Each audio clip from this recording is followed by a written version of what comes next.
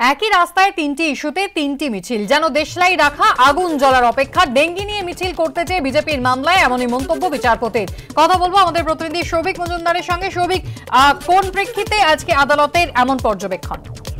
দেখো, তুমি জানো যে ডেঙ্গি ইস্যুতে বিজেপির যুব মোর্চা, তারা ইতিমধ্যেই রাসবিহারী থেকে চেতনা পর্যন্ত মিছিল করার অনুমতি চেয়েছেন।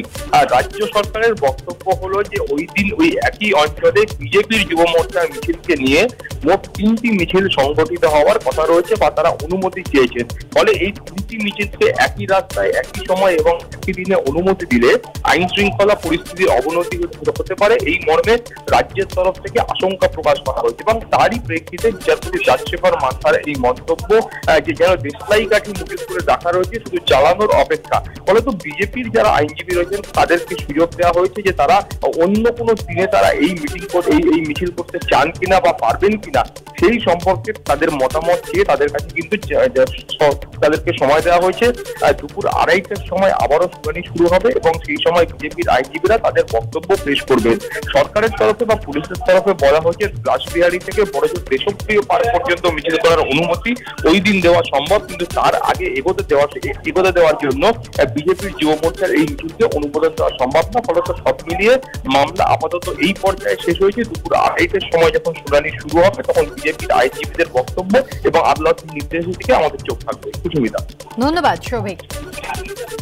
আজকে কিছুক্ষণ আগেই জেল থেকে বের করা হলো অনুব্রত মণ্ডলকে। আজ থেকে আসানসোল আদালতে পেশ করা হবে। অনুব্রত মণ্ডলের জামিনের বিরোধিতা করবে সিবিআই। জেলে গিয়ে অনুব্রত মণ্ডলকে জেরার আবেদন জানাবে ইডি। অনুব্রত মন্ডলকে দিল্লিতে নিয়ে যাওয়ার প্রথম ধাপ হিসেবে জেরা করতে চাইছে ইডি।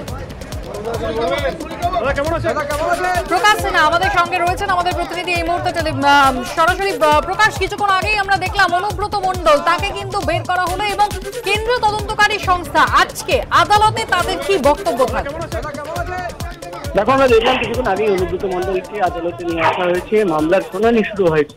এবং তোমাকে বলে দিই, অনুব্রত মন্ডলকে যখন জেল থেকে বার করা হচ্ছিল বা কোর্টে পেশ করা হচ্ছিল, সেই সময় কিন্তু আমরা একাধিক প্রশ্ন করেছিলাম। তার প্রতিক্রিয়া জানার চেষ্টা করেছিলাম। তিনি কিন্তু একটা শব্দ বলেননি। তিনি মুখী পেতেছিলেন। এবং আমরা দেখলাম আমরা শুনানি শুরু হয়েছে। সিবিআই এর তরফে যেটা আমরা জানতে পারছি যে তারা জামিনের বিরোধিতা করবে এবং এবং সিবিআই তরফে গত চোদ্দ দিনে যে তথ্য প্রমাণ তারা পেয়েছেন, তদন্ত করতে গিয়ে সেই সমস্ত তথ্য প্রমাণ রিপোর্ট আকারে আজকে জমা করতে তুমি জানো, একাধিক লটারির কথা উঠে আসছে, এমনকি যে অভিযোগ রয়েছে যে ব্ল্যাক মানি হোয়াইট করা হয়েছিল লটারিকে মাধ্যম বানিয়ে, সেই তথ্য পেশ করা হবে এবং একাধিক সম্পত্তির হদিশ পাওয়া গেছে। নতুন বেনামি সম্পত্তি থেকে শুরু করে একাধিক সময়ে বেনামি একাধিক ব্যাংক অ্যাকাউন্টে বিপুল অঙ্কের টাকা জমা পেশ করা হবে, অর্থাৎ একদিকে যেমন অনুভূত মন্ডলের আইনজীবীরা জামিনের আবেদন করবেন, অন্যদিকে কিন্তু আমরা সিবিআই সূত্র মারফত জানতে পারছি তারা জামিনের বিরোধিতা করবেন এবং কেন তারা জামিনের বিরোধিতা করছেন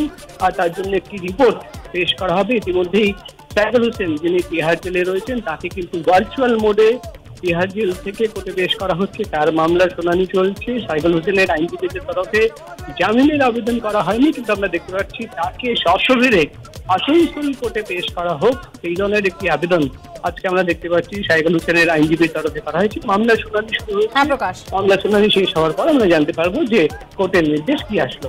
ধন্যবাদ।